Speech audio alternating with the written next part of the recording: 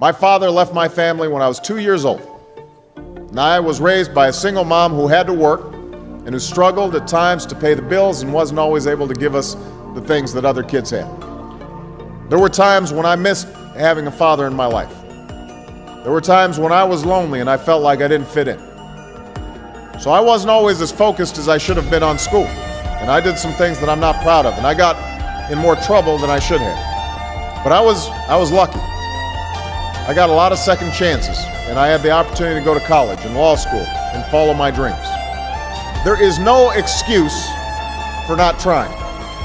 Where you are right now doesn't have to determine where you'll end up. No one's written your destiny for you. You make your own future. But whatever you resolve to do, I want you to commit to it. I want you to really work at it.